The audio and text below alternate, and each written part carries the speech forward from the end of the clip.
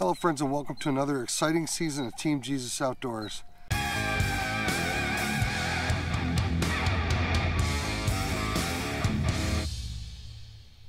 Hey guys, today I'm bringing you the very first Detroit River Report. I know a lot of you have been looking forward to the river reports with the mild winter we've had and this crazy spring-like weather so early we've had this year. I know some of you guys are dying to know what's the what's the condition of the river. Like me, many of you guys have seen some Facebook reports of some guys catching fish. I know my buddy Thad Shelton, he's been out, he's caught some fish. But hey guys, before you get too excited, you might want to keep in mind March is always a tough time for jigging walleye in the Detroit River. Whether we have an early spring, a late spring, doesn't really matter. The water temp's always low to mid 30s. Typically the water's pretty muddy. And right now the, this river is a filthy mess.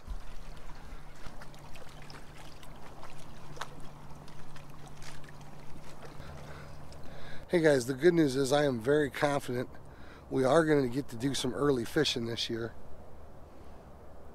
In fact, I see I see two boats now up here just under the bridge.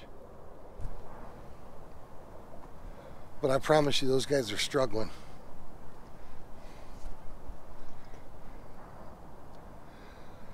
The toughest water to fish in for almost any species I've ever fished for, the toughest water to fish in is cold, dirty water. 33 or 34 degree water is tough enough to fish in at any time. But when you've got 32 or 34 or 33 degree water that looks like double double coffee, that's going to be really tough fishing. So guys, the bottom line is it is early still. I'm convinced we will get out here. We will get to do some early fishing this year. Probably going to be some good fishing early in April, late late in March, early in April.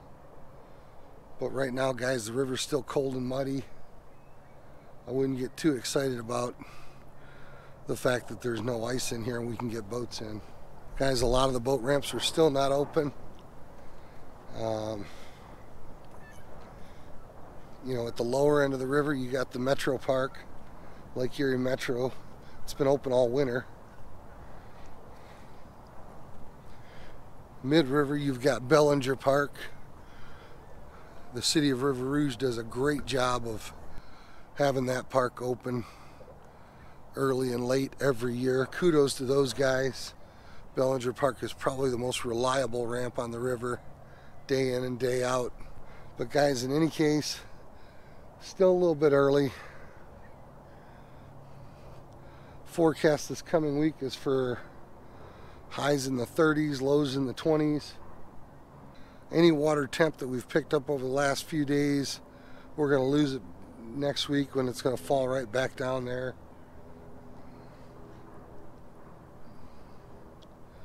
But hey guys, thanks for watching another episode of Team Jesus Outdoors. Guys, make sure you click that subscribe button. Make sure you're subscribed to the channel so that you catch all of our Detroit River reports. We'll have a bunch of reports for you this year as usual. Guys, make sure to smash that like button. Guys, do us a favor and share these videos across your social media platforms. Guys, we're fast approaching 4,400 subscribers.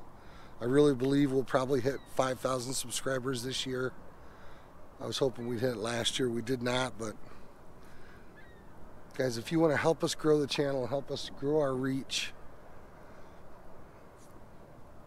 the two the, the best things you guys can do for us is to hit that like button leave comments, share these videos across your social media platforms. And guys, we can always use your financial support. If you have any desire to support us financially, you can go to our Patreon account. There's a link to our Patreon account from the YouTube homepage in the upper right hand corner. There's also a link to our Patreon account from our website at www.teamjesusoutdoors.com. in the upper right hand corner there's a link there's a tab.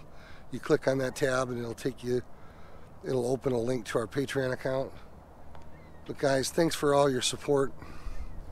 Get them boats ready. It's almost time to make sure you're stocked up on those jigs stocked up on those stinger hooks. Hey god bless. Tight lines. We'll see you guys on the river